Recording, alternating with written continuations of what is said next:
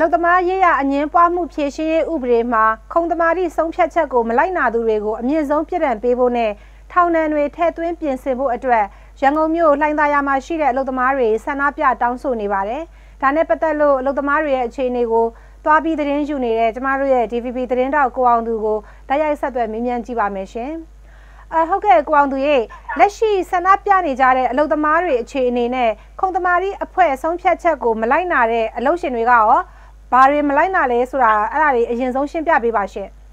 ဟုတ်ကဲ့ခုလိုင်းလာရမှာဟိုတနေ့ကတော့ကျွန်တော်တို့အလုံသမား1600ဝန်းကျင်လောက်ကဆန္ဒပြမှုတွေလုပ်သွားတယ်အဲ့ဒီဆန္ဒပြမှုတွေမှာအဓိကသူတို့ဘာလို့ပြတယ်ဆိုတော့အလုံသမားအငင်းပွားမှုရေးရာဖြည့်ရှင်းရေးဥပဒေထဲမှာကျွန်တော်တို့ခုံသမားရဲ့ဆုံးဖြတ်ချက်တွေကိုမလိုက်နာတဲ့အလုံရှင်တွေက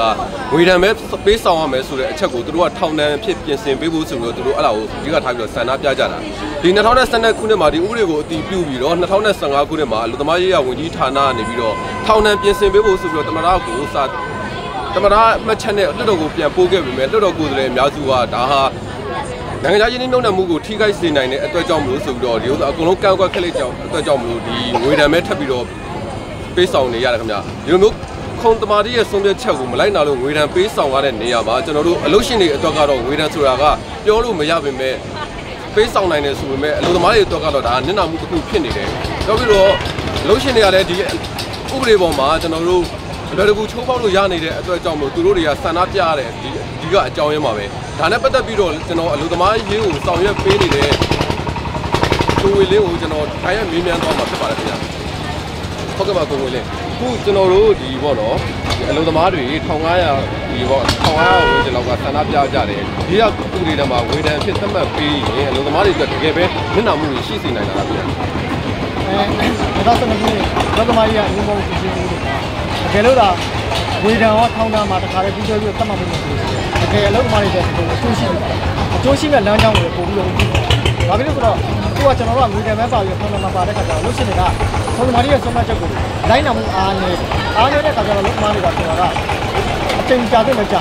နေသားလေးရှိတယ်ဒီလိုမျိုးလှုပ်ရှင်တွေကဒီခုံသမားရဲ့ဆုံးဖြတ်ချက်ကိုမလိုက်နာဘဲနဲ့ ရှောင်လွှဲနေတဲ့အလုပ်ကိုချိုးဖောက်နေတဲ့သူတွေရောလက်ရှိရှိနေတာအလုပ်သမားတွေတော့ကောဒီဥစ္စာအပြင်မှာဒီအလုံးလက်မဲ့တွေဖြစ်နေတဲ့ပုံစံမျိုးတွေရှိနေလားဗျရှိတယ်ခင်ဗျဒီအဓိကဒီခုံသမားရဲ့ဆုံးဖြတ်ချက်ကိုမလိုက်နာဘဲနဲ့ကျွန်တော်ကအလုပ်ပြန်မခတ်မင်းနဲ့လက်ရှိအပြင်မှာရောက်နေတဲ့ဝင်နေတဲ့ရှိတယ်သူတို့ကသူတို့စောင်းနေတွေကတော့ရန်ခက်ခဲတာပေါ့လက်ရှိမှာလည်းကြုံနေရတယ်ခင်ဗျ၃လေးဦးလောက်ရှိတယ် ခုဒီအစိုးရလက်ထက်မှာကျွန်တော်နောက်တက်လာတဲ့အစိုးရကိုဒီဥပဒေကိုပြဋ္ဌာန်းပေးဖို့ပေါ့နော်တောင်းဆိုတယ် NLD စိုးရတက်လာတဲ့အခါမှာဒီဥပဒေကိုကျွန်တော်တို့ထောင်ဒဏ်ထည့်သွင်းမပေးခဲ့ဘူးဆိုရင်အလုပ်သမားတွေအနေနဲ့ဘာတွေဆက်လုပ်ကြမလဲအဲတကယ်လို့နောက်တက်လာမယ့်အစိုးရမှာတကယ်လို့လောကမာကြီးကငင်းပေါင်းဖြစ်ရှင်းဥပဒေ2012ခုနှစ်ဥပဒေကိုတကယ်လို့ထောင်ဒဏ်တကယ်လို့မထည့်ပေးခဲ့ဘူးဆိုလို့ရှိရင်ကျန်တဲ့အလုပ်သမားတွေအားလုံးတမကတွေအားလုံးပေါ့နော်လက်ဝက်တွေအားလုံးကစုပေါင်းပြီးတော့ဒီဥစ္စာကိုဝေဒန်အပြင်ကိုထောင်ဒဏ်မှာထည့်ပေးဖို့ဆက်လက်ပြီးတော့တောင်းဆိုနေ ဒါအစီအစဉ်ရှိတယ်ပေါ့နော်ကျွန်တော်နေဟုတ်ကဲ့ပါကိုကျေးဇူးတင်ပါတယ်ခင်ဗျာဟုတ်ကဲ့